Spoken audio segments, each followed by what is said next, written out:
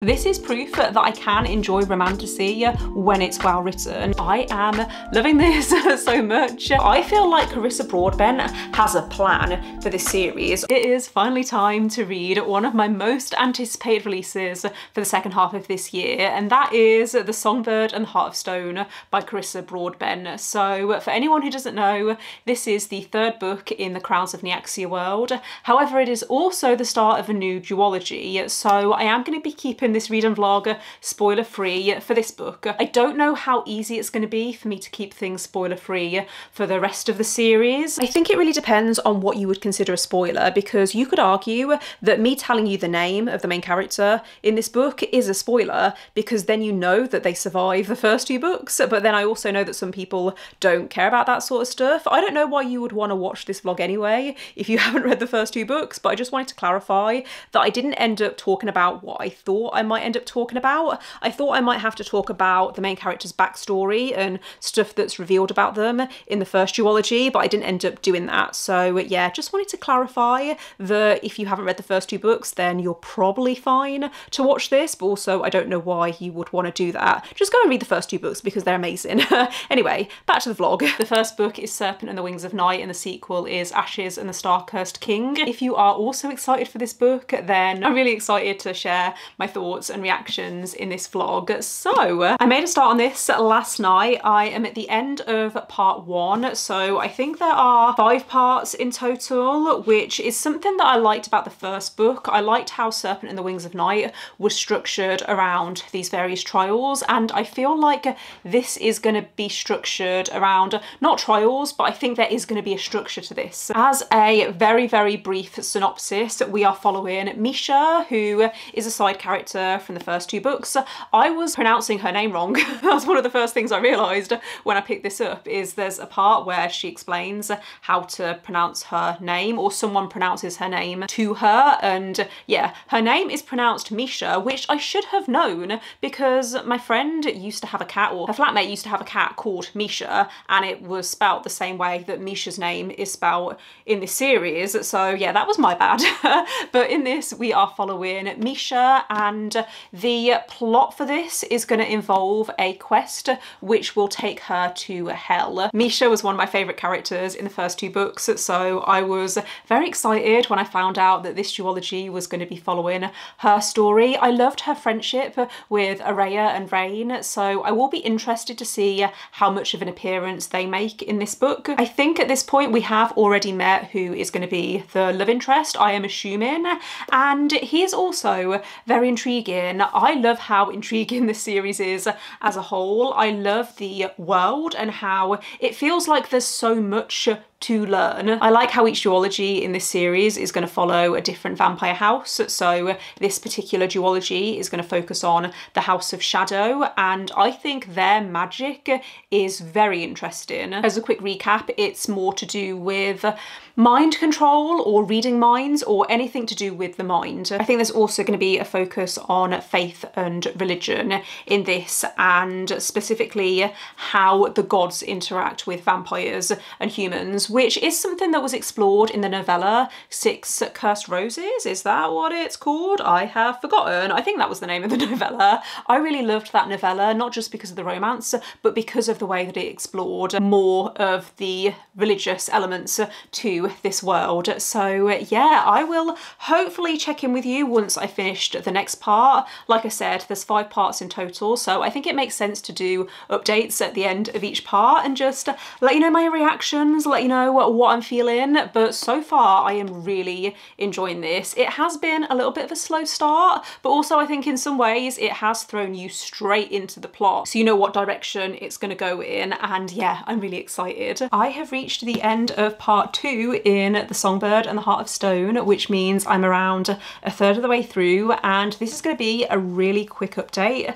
because first of all, I'm struggling to get my words out, but also I am loving this book so much. I don't wanna have to pause to talk to the camera to explain how much I'm enjoying it, but I am going to do that. I am going to try and put some thoughts into words. This is proof that I can enjoy romantasy when it's well written. I have been really struggling with romantasy this year, and part of me thinks maybe it's because I read Serpent and the Wings of Night and Ashes and the Star-Cursed King right at the start of the year in January and February. So everything else that I've read since then just hasn't hit me as hard. There's something about Carissa Broadbent's writing that just works for me. I think she writes with this intensity that I love. Her books are kind of dark, but the world is so fascinating. I love how intricate it feels and how there's all of these different elements to the world. We have obviously vampires, but also there's a religious system and a political system. The plot could stand by itself even without the romance. However,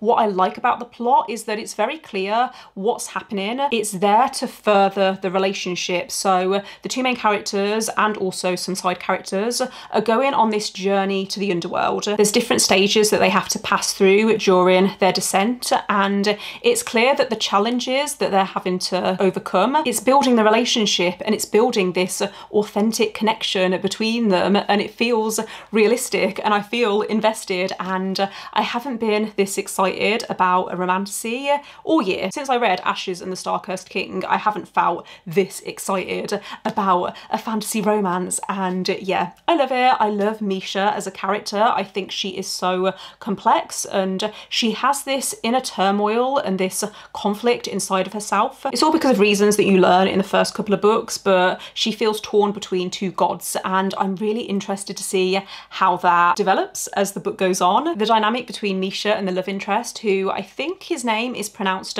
Asar or Asar, their dynamic feels very different to Oraya and Raihn from the first two books and I like that. It feels fresh and exciting and not like I'm just reading the same book over again. There's a couple of new side side characters that we've also been introduced to and I am interested to see their backstories if we get their backstories. One character in particular I'm very intrigued about. There's also an animal companion and we know how much I love the animal companion trope so this is going really well so far. I am just honestly relieved that I'm enjoying this as much as I am. Please excuse my wet hair. I am just settling down for the evening but I thought I would check in with you first because I am almost halfway through The Songbird and the Heart of Stone and I'm still really enjoying it. I need to grab my notes actually because it's quite late in the evening and my brain is not quite working. this book reminds me of another book. I can't work out what it reminds me of. I feel like it might be Sabriel by Garth Nix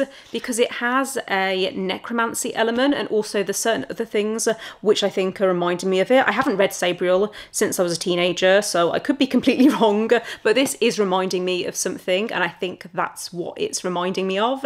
It's also quite dark. There are content warnings in the beginning just in case you need them, which I always love to see. Even if I don't feel like I need them, it's always nice to know that they are there. There seems to be less banter in this book in comparison to the previous books. I still do like the way that the romance is developing, but it feels like the relationship is being built on this mutual understanding of what the other person has been through rather than instant chemistry. We are learning more about Mische's past, which has been interesting. I do have a few predictions as to what direction I think this is going in, and certain things that I think are going to be either revealed or that are going to happen in the second half. And I really hope I'm wrong. Even if I am right on certain things, I'm really hoping that this does have some twists and turns because that's always more fun. But yeah, I'm still enjoying this. The stakes in this also feel like they should be higher than what I'm actually feeling. So I'm also hoping that that is something that's also going to build in this second half. It has been a busy few days, but I have been making some good progress with The Songbird and The Heart of Stone. I am roughly two thirds of the way through. I haven't checked the exact page number. I was going to update you at the end of each part because there's five or six parts, but I feel like that's a little too often. So this may be my last update before I get to the end and I am loving this so much. It's been so long since I last read a proper slow burn romance that this just feels so great. it's such a relief to be reading something that is structurally what I enjoy reading. I love a slow burn romance. I don't want insta love. I want to see the characters gradually fall for each other and the romantic tension in this second half has been building so well. There's been some really fun banter, but there's also been some emotional moments. I feel like this is really well paced. There hasn't yet been a dull moment, but there has also been time for us to see the characters slow down and interact and have a conversation, and it's so satisfying. It's flowing really well, it's putting a huge smile on my face, and I know I said in my last update that I was uh, concerned that I'd worked everything out in this book and I knew what direction it was going to go in. I don't know whether I have worked everything out because there's been a few surprises in this last section. Some stuff has happened that I wasn't expecting, so it's keeping my attention, it's keeping me invested. I want to keep on reading to find out how things are going to wrap up. Obviously, this is only part one, so I don't know how this is going to end. Are we going to have a cliffhanger? I'm assuming so. I do understand why this is told in single POV. However, the way that it worked with the last series is the first book was told in single POV and then the second book was dual POV. And I really hope that happens with this book. Well, not this book, with this series. This book is definitely only going to be told in single POV. However, I need to get inside this guy's head. When you first meet him, he is very mysterious. However, as you get to know him, all of these layers develop and there's a real theme in this around redemption and guilt and feeling like you have to make amends for things that you've done in your past, even though there may have been reasons why you've done things in the past. Both of these characters feel very layered and I'm really appreciating learning more about Mische as well. I love how these characters aren't perfect, even though Mische, we already know, has a very altruistic nature and she loves caring for people and helping people. It's been really interesting seeing her character development, but I do want to get inside Asar's head. So I'm really hoping the second book in this series does have a second perspective. There have been some small conveniences within the plot where it's felt like things have been a little contrived. However, I'm willing to overlook that because I'm just having so much fun with this book. I'm trying not to look too much into it and just relax and enjoy the journey. Some of the imagery in this has been very interesting. I am someone who pictures stuff as they read and I haven't struggled to picture stuff as I'm reading this. It's just that what I'm picturing feels very weird. For example, stuff has been described as being supersized and in my brain I'm thinking, is it meant to be this big? Because that's how it's describing it. It just doesn't feel like it's right, but I'm assuming it is right. It's just been a very interesting experience, but it's been a very immersive experience. So I am hoping to blast through the rest of this tonight and then I can update you with my final thoughts. But so far, this is giving me four or five star feelings. I feel like I should give it five stars if I do enjoy the ending. I hope it sticks the landing. But this reminds me of a book I read recently called The Half King by Melissa Landers. Not in every element, but just in terms of the religious element.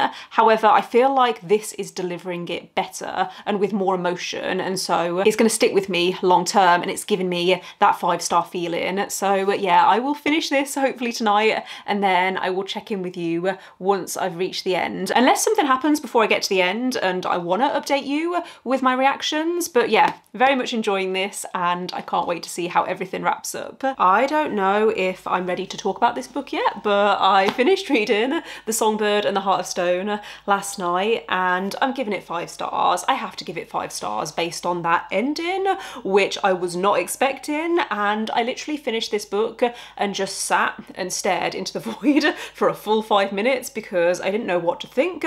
I didn't know what to feel. I loved this book. And yeah, if I put it under a microscope and really analysed it, it does have its issues objectively. You know, there are some issues with this. It's not perfect. It has some plot conveniences and I never really felt the tension in the plot. All the tension I was feeling came from the romance, which uh, I'm fine with. I can overlook plot issues in a fantasy romance or a romantasy as long as I feel invested in the romance. And I felt invested in this romance. I am so excited to continue this series. When is the second book coming out? I'm assuming it's going to be next year, which I don't want to have to wait. This is the thing, is when I read Serpent and the Wings of Night, I could immediately go into Ashes and the Starcursed King because I'd waited for them both to be released, but I have to wait with this one and I don't know if I can. Obviously I'm gonna have to. If you enjoyed the first two books, then I think there's a really good chance that you're gonna love this one too. I feel like Carissa Broadbent has a plan for this series. Obviously at the end of this book, we are halfway through the series because there's going to be six books, I believe, in total, plus the novella. And I don't know if there's going to be some other spin-offs and other novellas. I still haven't read, is it Slaying the Vampire Conqueror, which I know is a standalone set within this world. I need to read it because I need more of Carissa Broadbent's writing. I also need to read her other series. I have heard that that one is more fantasy with romance, but I've also heard people say that this is fantasy with romance. This, in my opinion, is what romantasy should be, or it's what I love about romantasy because yes, there is a really compelling and addictive plot and the characters go through it. This is dark, but everything that they go through, it's there to further the relationship and the relationship is, in my opinion, the best thing about this book. So yeah, five stars and I am just so happy that I loved this. I also didn't have a problem getting into this as well considering it's been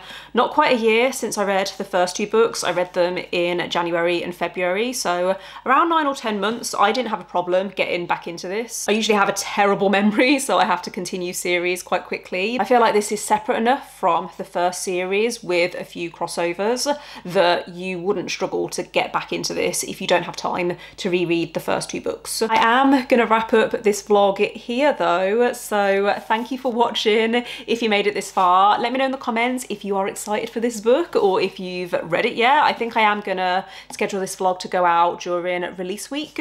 It comes out in November, I'm not sure on the exact date, but it will either be out by the time this vlog goes live or it will be coming out within the next few days. So yeah, let me know if you are excited for this book. My mind has gone, so I am gonna wrap things up here. Don't forget to give this video a thumbs up if you liked it and click subscribe if you would like to see more videos from me, but otherwise I will see you next time. Bye.